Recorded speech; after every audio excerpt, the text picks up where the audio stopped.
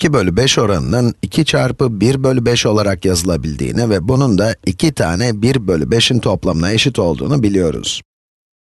Eğer bu kesri şekil olarak göstermek istersek, bir bütünü alıp bunu 5 eşit parçaya bölebiliriz ve iki tanesini tarayabiliriz. Ne yapalım? Bu ilk 1 bölü 5, bu da ikinci 1 bölü 5. Yani 2 bölü 5. Bütünün 5 eşit parçasından 2 tanesi. Şimdi daha ilginç bir şey yapalım. 3 çarpı 2 bölü 5 neyi temsil eder? Burada videoyu durdurmaya az önce burada yaptığımızda göz önüne alarak bunun neye eşit olduğunu bir düşünün. 3 çarpı 2 bölü 5 eşittir. O zaman biz devam edelim. 3 çarpı 2 bölü 5'i 3 çarpı 2 bölü 5'i yukarıda yazdığım gibi yazacağım.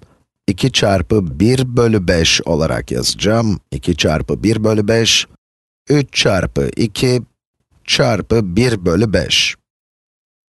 Çarpma işleminde önce 2 ile 1 bölü 5'i çarpabilir, daha sonra 3 ile çarpabilirsiniz.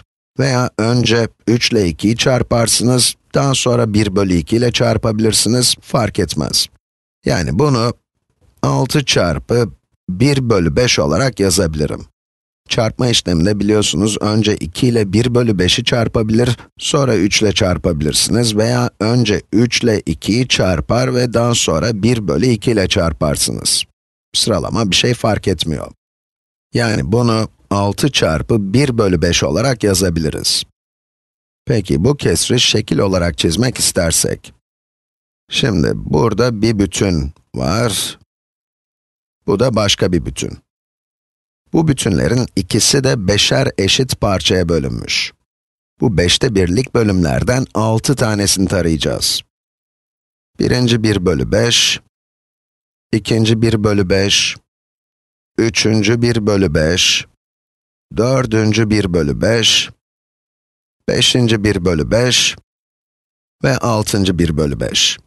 Yani 3 çarpı 2 bölü 5, 6 çarpı 1 bölü 5'e eşit. 6 çarpı 1 bölü 5 aynı zamanda 6 bölü 5 olarak da yazılabilir. Yazdığımız ilk satıra bakalım.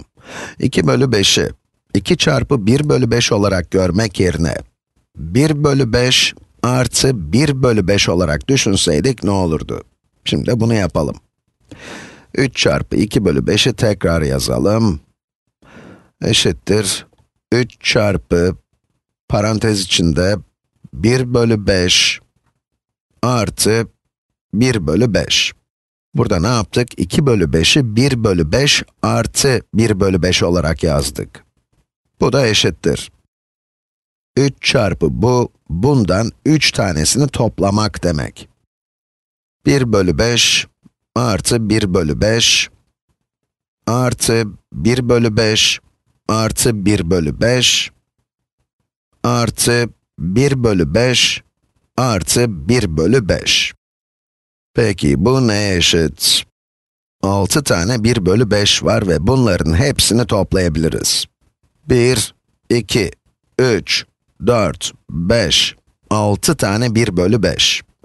Bu da eşittir 6 bölü 5. 2 bölü 5'in 2 çarpı 1 bölü 5'e ve bunun da 1 bölü 5 artı 1 bölü 5'e eşit olduğunu gördük.